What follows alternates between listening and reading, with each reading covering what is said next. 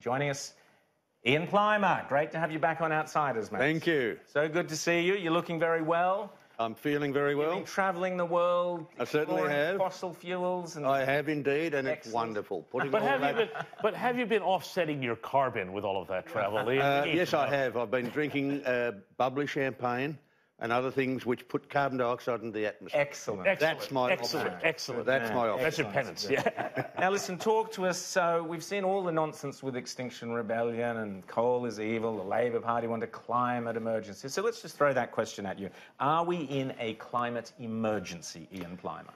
We live in horribly boring times. uh, we've had one period in geological history called the boring billion. We are in another boring time. Whatever we think is happening, such as extinction or climate change, it's been quicker and greater in the past. We're not in an extinction. We've had five major mass extinctions, and this is when you lose 70% of all species. We have species turnover all the time. Every year, a few species cark it, and every year you get a few new species. We're living in one of those times. And the species that we notice that have carked it are the big ones. But we don't notice the small species that are growing and creeping up on us. So we're not living in a period of extinction. We are not living in a period of extraordinary climate. We're living in a very benign climate. We are actually still living in an ice age. That ice age started on a Tuesday 34 million years ago, and it's still going, and it fluctuates between cold periods, glaciation, and warm periods, and interglacial. We are in one of those interglacials. Those interglacials are driven by that great ball of heat in the sky we call the sun. For some reason, a trace gas has nothing to do with our climate. It's the sun. And if we get further away from the sun, it gets cooler. And if it gets closer to the sun, it gets warmer. Now, no legislation from Canberra or from the UN can change the orbit of the Earth. And the orbit will inevitably put us into another cool period. We've seen it many, many, many times before. These are cycles. And we have climate cycles that are every 400 million years with continents pulling apart and coming back together again. Every 143 million years when we're in a wrong part of the galaxy and we get bombarded by cosmic rays. And then orbital cycles every 100,000, 40,000 and 20,000 years. And then solar cycles every 1500, 217, 87 and 11 years. Tidal cycles, oceanic cycles. You put a few of them together and bang, the climate will change and very quickly. Rita? Well, why is everything so short term then? Because you're looking at it as the history of, of, of the world. You're looking at it millions of years and, and the, the, the history you can uh, document there. But why is everything so short term with when we have, you know, a, a warm summer and then you've got all the climate activists saying, well, this is it. This is how much more evidence do you need that things are coming to a, a catastrophe? Catastrophe. You know, they're saying that if we don't take dras- drastic action today, um, things are going to be very grim for the future of the planet. Well, in my life, I've lived in a period of warming, I've lived in a period of cooling, and I'm now, and then I lived in a period of warming, and I'm now in a period where nothing's happening, where it's neither warming nor cooling. So I've already seen climate change in my life, and it doesn't kill you. Uh, climate change is quite normal, and in fact, I would be really concerned if climate didn't change. I'd be really worried if climate didn't change. So these people are only thinking of me, me, and me, and me. But what about the man made contribution to that change? Well, um, I'm optimistic enough that one day someone might find that humans have an influence on climate, but I'm yet to see it. But Tell I, tell I'm us- waiting in patience. So tell us about carbon dioxide and then tell us about coal, because uh, the, uh, the Extinction Rebellion and others would tell us that the amount of carbon dioxide is, is cooking us basically, and we're, we're finished, and that the last couple of years have been the hottest ever, or something like that. Debunk those for me. Well, the last couple of years haven't been the hottest ever. Um, in recorded measuring time, it's been the 1930s. It was much hotter then than now, right across the world. We were in a very hot period of time. The second thing is carbon dioxide is a normal planetary gas. We find it on the moon, we find it on all planets, and planet Earth is leaking out carbon dioxide and methane all the time. You can measure it. Uh, the third thing is that previously in the Earth's atmosphere we had much more carbon dioxide, and the global carbon dioxide content has been reducing through geological time. Yet, when we've had carbon dioxide hundreds of times higher than now, we've had ice ages. Only six of them, But we've had six major ice ages when carbon dioxide was much higher. James, you're frothing at the, at the No, mouth. so I'm just curious then, like, I, I, you know, and, and, and I get exactly what you're saying. What I'm curious about is why is it then that carbon dioxide, and this may be less of a scientific than an economic and a philosophical question, why is it that carbon dioxide has become the, uh, the, the, the, the, the, the, sin, I guess, of our modern world that, that we seek to eradicate if there's no connection? Is it because there's money to be made in the transition? Is it because people need something to believe in? What is that all about? Well, the main greenhouse gas in the atmosphere is water vapour. Now, you cannot have a revolution against water, but carbon dioxide is a beautiful symbol to use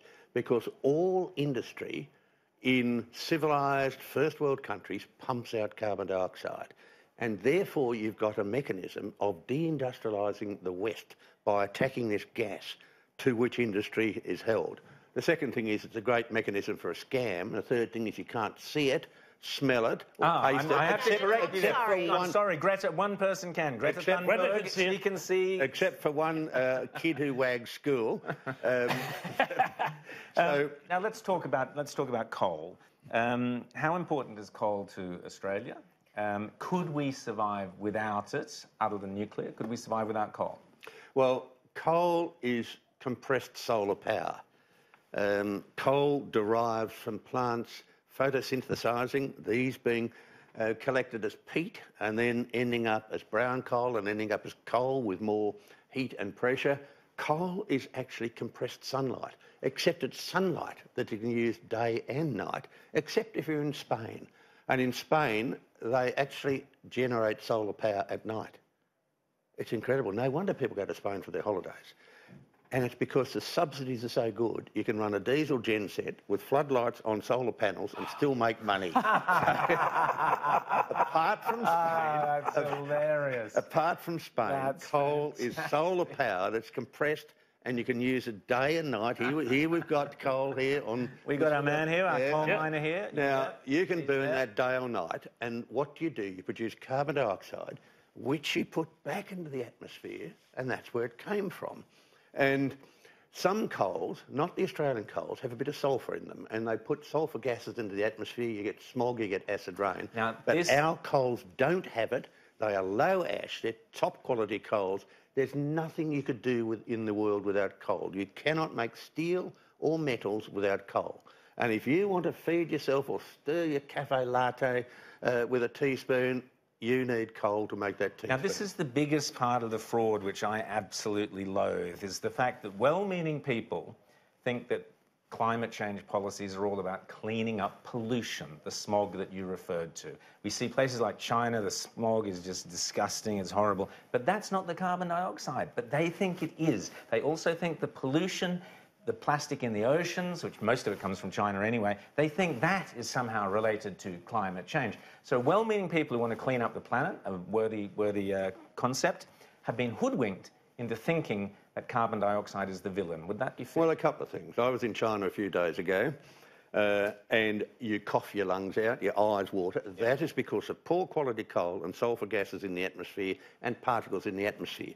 And viewers, you'll be very pleased to know that Sky, you, this program, Bolt, Credlin, they are blocked in China. Now, that is a, badge, badge of honour. It's a badge of honour. That's rock and roll, fabulous. rock and roll. The lefties want for I Australia. like the Sex Pistols. Uh, Yeah. Now, now, I think I think people um, in this country have nothing to fight for. They've got plenty of food. They're extraordinarily wealthy compared with the rest of the world. They carry residual Christian guilt.